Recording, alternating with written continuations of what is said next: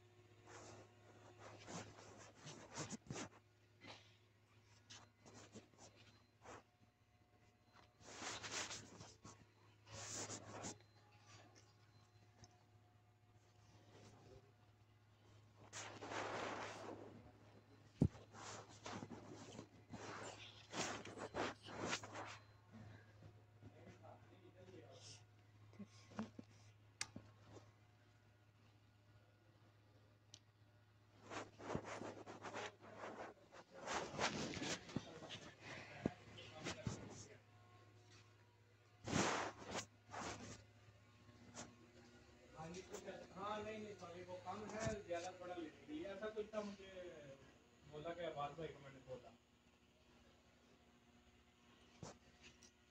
नहीं मछली है